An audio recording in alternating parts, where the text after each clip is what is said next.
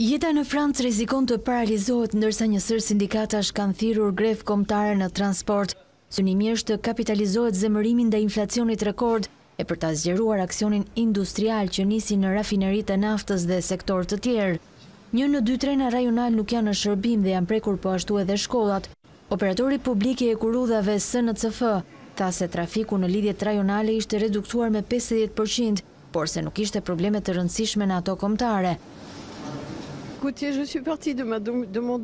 Kam ardhur me taksi drejt Lionit, ishte e ndërlikuar, përveç kostove të larta, kishte edhe probleme në qarkullim dhe udhëtimi zgjati shumë.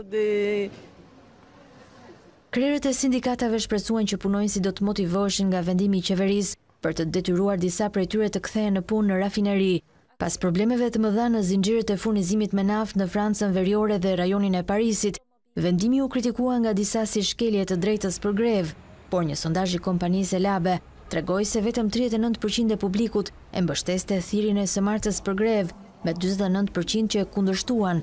Greva e punonjësve të rafinerive po rezulton një prej sfidave më të mëdha të presidentit Emmanuel Macron, që prej rizgjedhjes në muajin maj, teksa tensionet në ekonominë e dytë më të madhe të Europës janë rritur, greva po përhapet në pjesë të tjera të sektorit të energjisë, përfshirë gjigantin bërthamor EDF, ku punimet e mirëmbajtjes do të shtyhen, grevat zhvillohen ndërsa qeveria pritet të miratojë buxhetin e vitit dy mijë e njëzet e tre.